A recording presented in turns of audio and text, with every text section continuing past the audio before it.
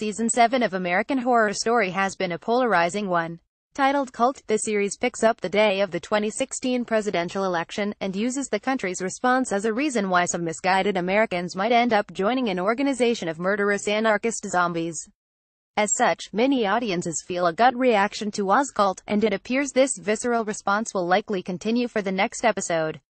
Because episode 6 will reportedly feature a mass shooting incident, which will no doubt hit home in the wake of the tragedy in Las Vegas, news of the scene comes to us from the Wrap, which managed to get a glimpse of episode 6, entitled Midwestern Assassin. The episode will reportedly feature a horrifying mass shooting sequence, in which at least five people will be killed in a public space. The sequence is said to be an ultra-stylized, slow-motion scene that will both open and close the episode. And to add even more tension to the controversial scenes, it'll take place in a political rally.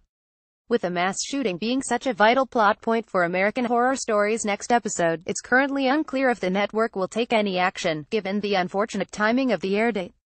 Considering it will be just over a week since the horrifying shooting in Las Vegas, there will no doubt be naysayers who think that it's just too soon to watch such gun violence on television.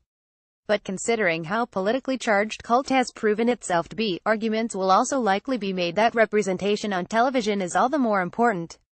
One thing is clear the folks over at American Horror Story have yet to take a stand one way or another. The network was yet to reveal whether or not Midwestern Assassin will air normally, or if the decision has been made to postpone its airing. Creator-producers Ryan Murphy and Brad Falchuk have not made any comments either, which has only increased the buzz and debate revolving around the upcoming episode. While delaying the airing of AHS Cult's next episode will disrupt the network's schedule, there is precedent for networks temporarily keeping back sensitive content in the past. Back in 1999, Buffy the Vampire Slayer canceled the airing of its season 3 episode Earshot, following the events of the Columbine Massacre. Just last year Ryan Phillippe's USA drama, Shooter delayed its premiere in response to the sniper attack in Dallas. And this week Netflix announced that its NY Comic-Con panel for The Punisher is cancelled in order to be sensitive to the victims of the Las Vegas attack. Well be sure to update you on whether or not FX decides to delay American Horror Story's next episode. In the meantime, check out our fall premiere list to plan your next binge watch.